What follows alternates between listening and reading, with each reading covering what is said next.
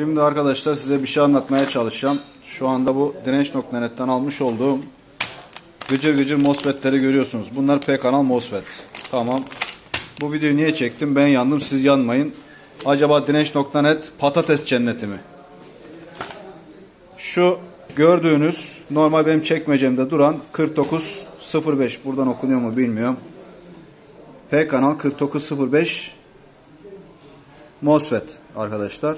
Buradan ha şimdi okundu. Bu direnç.net'in göndermiş olduğu. Şimdi bunlara kısa bir test şu şekilde uygulayabiliriz. Gate'den source arasına 100K bağlayın. E, source'una artı, drain'ine eksi verin ve gate ile drain arasını kısa devre yapın. Bu normalde açıp kapaması lazım. Şu anda bunun yaptığı gibi. Ama buna direkt 100K bağladık. Direkt artıyı eksimizi verdik. Direkt kısa devreye geçiyor arkadaşlar bilginize. Bazıları geçmiyor. Ee, bazıları geçmiyor derken birkaç defada geçiyor kısa devreye. Yani birkaç kere tetik istiyor. Yani şunu alıp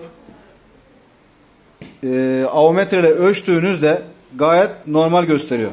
Ama 200 miliamperlik sadece bir test uyguladık ve patates çıktı arkadaşlar.